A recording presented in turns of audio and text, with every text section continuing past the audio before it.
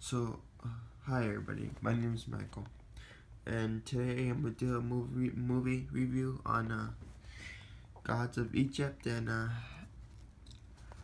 so yeah, I'm gonna do a movie review of it, and um, the story of this movie is pretty much about two brothers, and the two brothers are fighting, okay, and one of them, one of the brothers is good I mean, one of them's good, and one of them is bad. And uh, in beginning movie, you know what happens if you've seen a movie.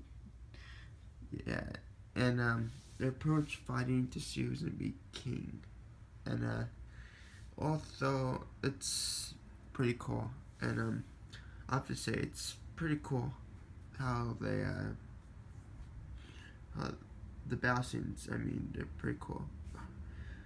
And um and uh, the cool part is the creatures are uh are just cool, especially the snake. And yeah, I I kind of I kind of enjoyed this movie for was. It was good. And yeah, I mean the story story was good. No, the CGI was kind of bad.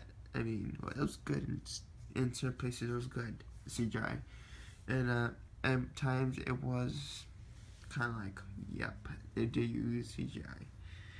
And, uh, but yeah, I definitely enjoyed this movie for what it was, and, uh, I will give this movie a 4.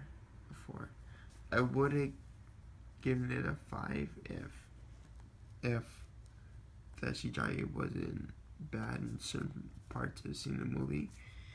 But yeah, um, yes. But yeah, I mean, yeah, I'll give it a 4 the most, though.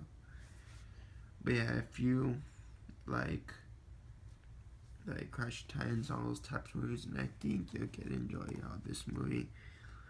And yeah, so, and that's my movie review of um, Gods of Egypt. And if you like it, okay, and please remember to leave a like on the video. And, uh, have a good day. Bye. Have a good day.